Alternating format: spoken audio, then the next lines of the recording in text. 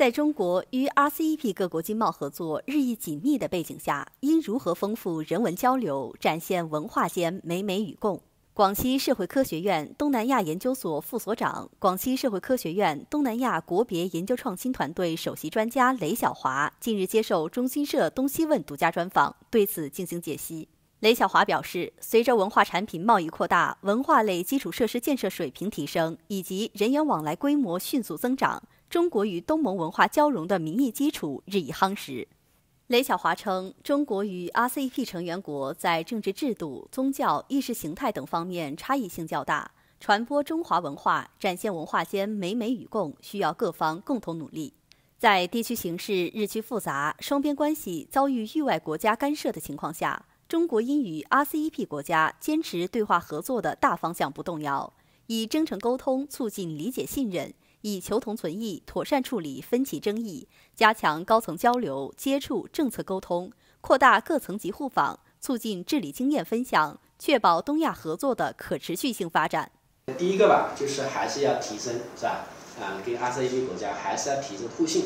哎，我们讲互信是基础，是前提，是所有开展合作的一个大的背景，是吧？只有在一个良好的一个互信的关系下，我们才能促进一个全方位的一个合作。包括这个很好的去实施这个 RCEP 这个协定是吧？哎，如果互信关系不好的话，呃，尽管你可能是签了这个 RCEP 协定，但可能也会有一些呃隐性的一些障碍在存在，去阻碍这个 RCEP 实施所带来的一个真正的一个效果吧？与此同时，雷晓华表示，呈现文化间的美美与共，应以更包容的心态看待彼此文化差异，兼容并蓄。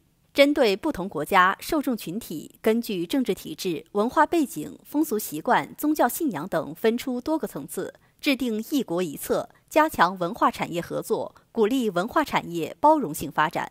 比较包容的一个心态去看待这些呃彼此的一个差异，不能因为以差异去区分立场，呃区分呃盟友的。经常我们讲西方国家，它就是以这种啊这种观点去看待的，就是说。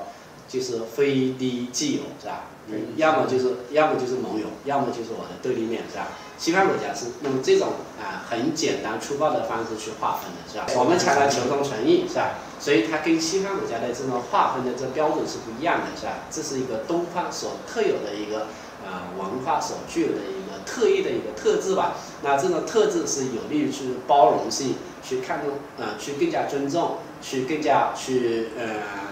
看到对方的一个啊一个差异性上更加包容的。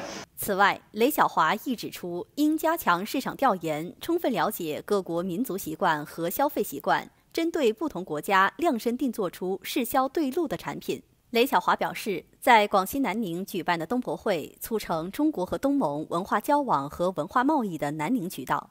RCEP 生效实施后，东博会服务范围将向 RCEP 拓展。未来，南宁可以在中国和 RCEP 成员国文化交融中发挥重要作用。